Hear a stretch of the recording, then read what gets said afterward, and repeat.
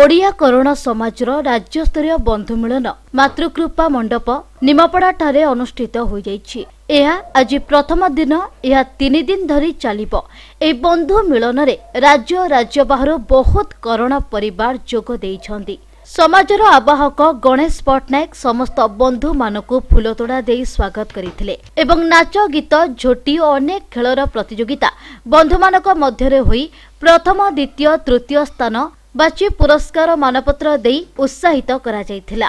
ଓ ସମାଜ କେମିତି ଓ କିପରି ନିଃସହାୟ ଗରିବ ଓ ଆଦିବାସୀ ଭୂମିହୀନ ଲୋକଙ୍କୁ କିପରି ଓଡ଼ିଆ କରଣ ସମାଜ ସାହାଯ୍ୟ କରିପାରିବ ଓ କରଣ ପରିବାରରେ ଯୌତୁକ ପ୍ରଥା ଓ ଝିଅମାନଙ୍କୁ ଶାଶୁଘରେ କିପରି ନିର୍ଯାତନା ନ ଦେବା ଓ ନିଜ ଝିଅ ଭଳି ରଖିବାକୁ କରଣ ସମାଜ ଶପଥ କଲେ ଓ ପୁରୁଷ ବନ୍ଧୁମାନେ ନିଜ ପୁଅ ଓ ଝିଅଙ୍କୁ ବିନା ଯୌତୁକରେ ବାହାଘର କରିବେ ବୋଲି ନଅ ହଜାର ପରିବାର ଶପଥ ନେଇଥିଲେ ଏବଂ ସବୁଦିନ ଏହି କରୋନା ସମାଜ ଏମିତି ଏକତ୍ରିତ ହୋଇ ରହିବେ ବୋଲି କହିଥିଲେ।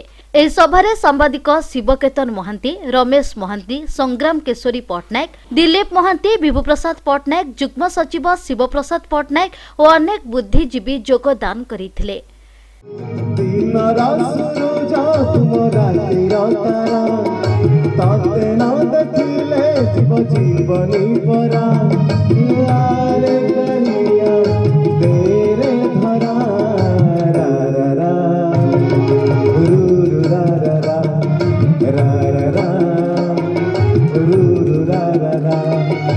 ଯାଜପୁରରୁ ଶିବକେତନ ମହାନ୍ତିଙ୍କ ରିପୋର୍ଟ